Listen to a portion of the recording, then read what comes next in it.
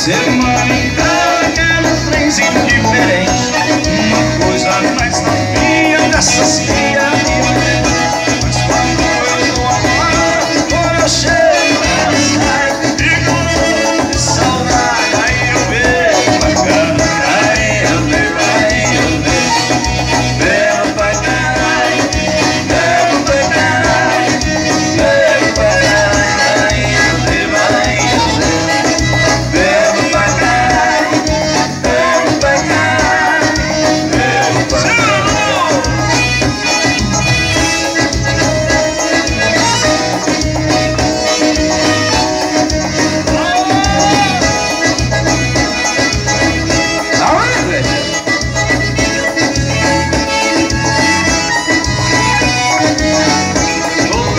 se é a gente brinca.